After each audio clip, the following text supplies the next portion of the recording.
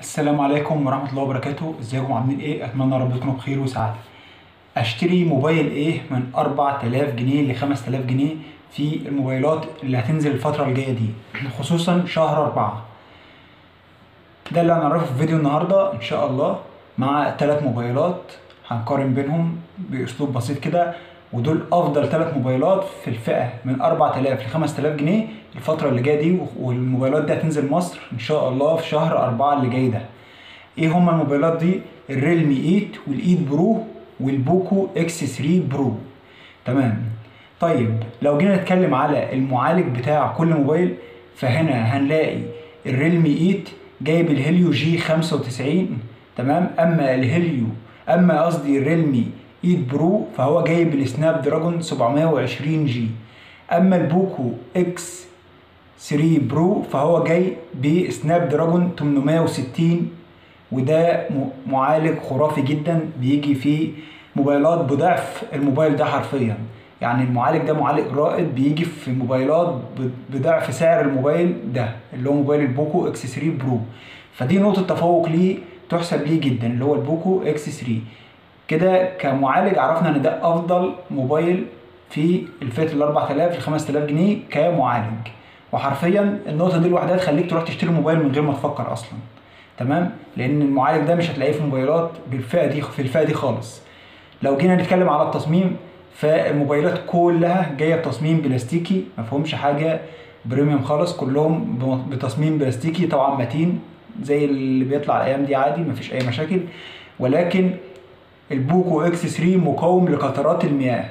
وخلي بالك من قطرات المياه دي يعني مش بتنزل بيه الميه لا قطرات المياه الرذاذ بتاع الميه يعني. لو جينا برضو هنا نتكلم عن الشاشة فهنلاقي الريل الريلمي 8 وال eight pro جايين بشاشة super AMOLED وما فيهمش معدل تحديث.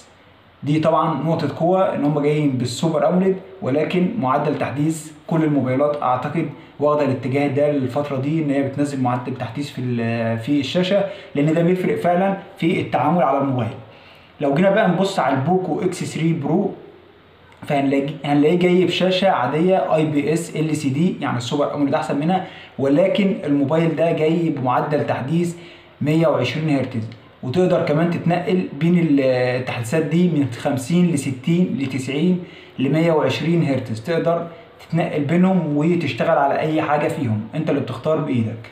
فهنبص نلاقي الشاشات مميزة. في الريلمي أكتر من البوكو فون كنوعيه إنما كمعدل تحديث طبعا في البوكو فون في تميز معدل تحديث 120 هرتز وده بيساعدك طبعا في الضغطات أو اللمسات بتاعت الشاشة بيبقى الاستجابة فيها أكتر ولو أنت بتلعب وكده بيبقى معدل التحديث ليك أحسن. فأنت اختار لو عايز مثلا حاجة مش فارقة معاك الشاشة super AMOLED وعايز معدل تحديث يبقى البوكو فون أحسن البوكو قصدي X3 pro أحسن. لو عايز ال super AMOLED وجودة بقى وألوان و contrast وتشبع ألوان لا هتتجه للريلمي 8 أو ال 8 pro تمام؟ لو جينا بقى هنا نتكلم على البطارية فالبطارية هنا بتاعة الريلمي 8 جاية 5000 ملي أمبير وبتدعم شاحن سريع بقدرة 30 واط.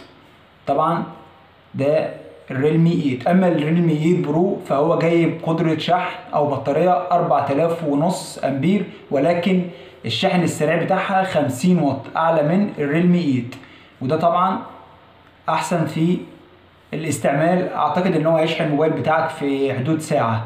ال 4000 ونص هي هي ال 5000 الفرق بينهم مش شاسع وهتقضي معاك اليوم سواء في الموبايل ده أو الموبايل ده سواء ال Realme 8 أو ال 8 Pro.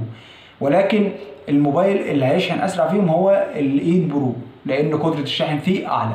تمام؟ أما بقى البطارية بتاعت ال Poco X 3 Pro فهو جايب بطارية 5160 أمبير وجايب قدرة شحن 33 واط.